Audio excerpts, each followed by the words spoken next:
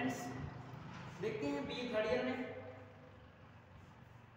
अगला टॉपिक है युगल दंड अभी कुछ चित्र रह गए थे उन चित्रों को हम बनाते आपको बता रहे हैं इस तरीके से मैं लिखा क्या है।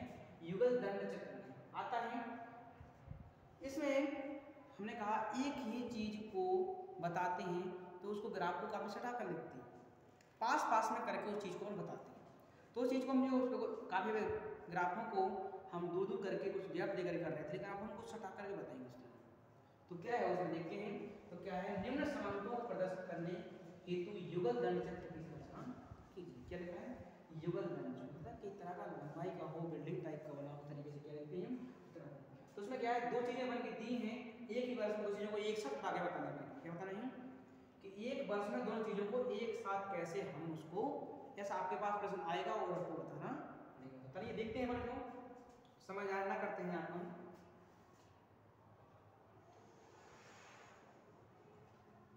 इस तरीके से हम एक टाइप का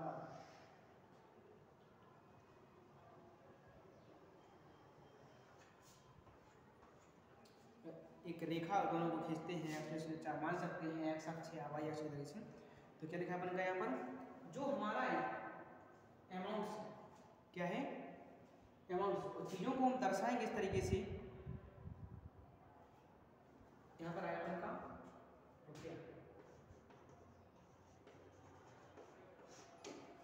रुपया को यहाँ पर दर्शाएँगे तो सबसे ज़्यादा अमाउंट जैसे आपके लिए क्या? नब्बे। नब्बे, और इसमें सबसे कम अमाउंट अपने यहाँ पर है? सेवन मतलब कि सत्तर। तो ग्राफ को बनाएँगे इस तरीके से तो यहाँ पर मानते हैं। इस स्थिति को मानते हैं तो पहले क्या लिखा बन है यहाँ पर? लास्ट स्टेप में क्या होगा का? देखा होगा आप लोगों ने क्या है? जी क्या होता है?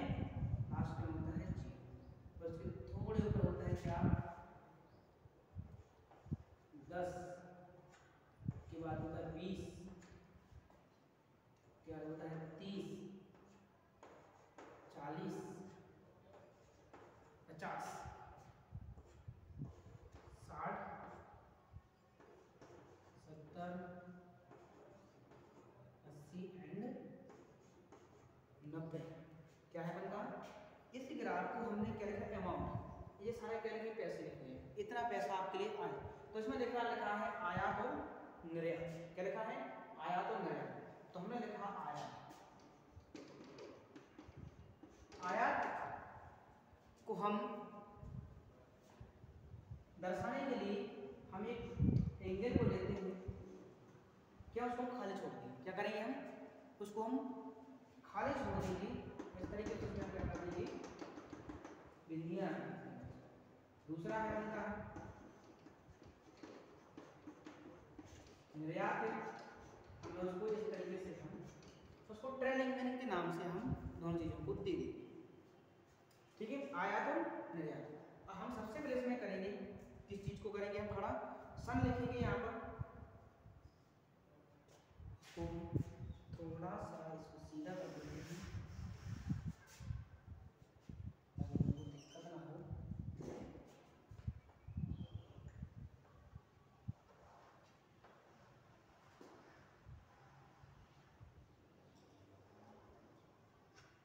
ठीक है?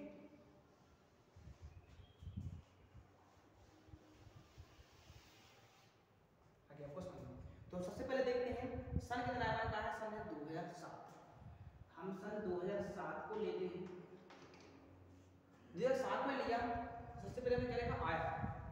कोई स्थिति दर्शा दिया तो आया से कितना हुआ उनका 80 मतलब 80 तो आया का जो ग्राफ उनका जाएगा यहाँ से यहाँ तक चलेगा।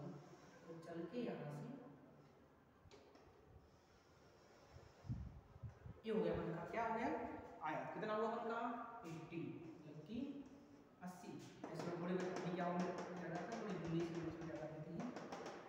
इसमें रख देते हैं, क्योंकि हमने इसमें क्या कर दिया था?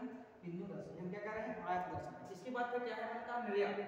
निर्यात को लिखा इसका क्या है अपन का? 75 तो 80 75 के थोड़े यहाँ तक के बीच में तो हम यहाँ करेंगे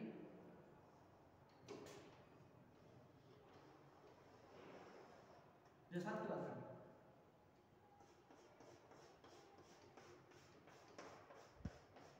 ये क्या कर दिया हमने। इसको दर्शा दिया क्या?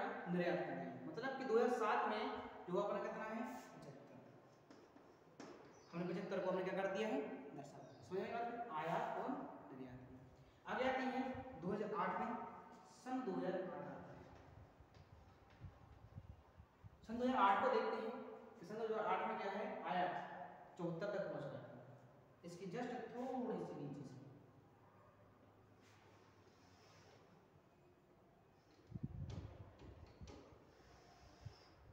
से क्या है अपना ये आयात चौहत्तर है ऐसे में इसमें क्या कर देते हैं ये निशान कर देते हैं कि ये क्या है बनका है ये आयात है आगे आते हैं सत्तर है कितना है बनका निर्यात है सत्तर यहाँ तक पहुँच जाएगा सिक्स आठ की जस्ट इसके पास से ही ये काटते हैं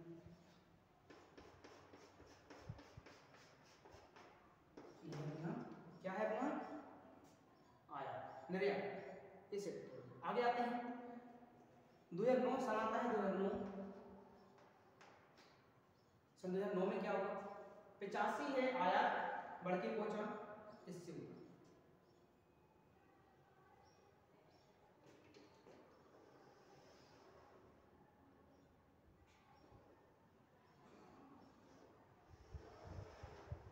ठीक है? ये अपना क्या हो गया? पिचासी। पिचासी क्या पहुँचा आया निर्यात कितना का है? प्यासी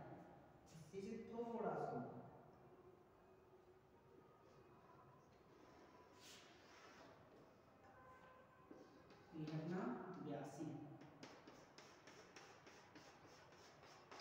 दो हज़ार नौ का हो गया। ये हमारा क्या हुआ? आयात और निर्यात आयात ना हुआ निर्यात ना होता आगे आते हैं।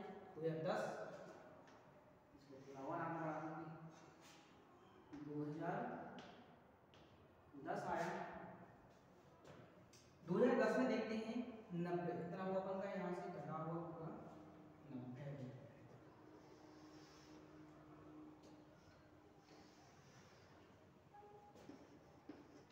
नब्बे हुआ कितना? आया। आया करना कितना हो गया अपना यहाँ पर? नब्बे हो गया है। नब्बे के बाद जो हुआ कितना है? आठ। मेरे कितना बनता है टी तो यहाँ पर आता है बनता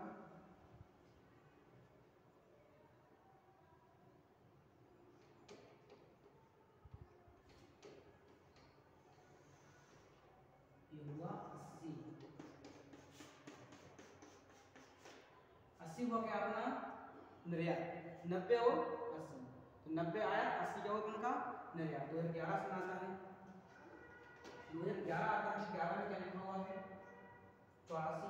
जस्ट इसके थोड़े से ऊपर चलेगा।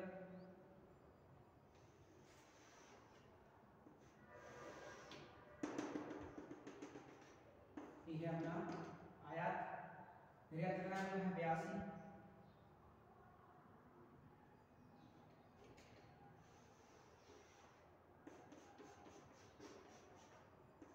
हो गया अपना बयासी इस तरीके से हमने क्या कर दिया है आज मैंने दर्शा दिया लास्ट ईयर का दो हज़ार बारह दो हज़ार बारह में कितना है? उनका अट्ठासी बस नब्बे के कट कर देते हैं। इसको दो इसको करके दिया करके यहाँ पर थोड़ी सी हम आगे हम दो ग्यारह का क्या है? उनका अट्ठासी बस नब्बे के थोड़े से करीब इसे हम क्या करेंगे इसको ऐड कर देंगे। हो जाएगा अट्ठासी हो आयात बस पचासी।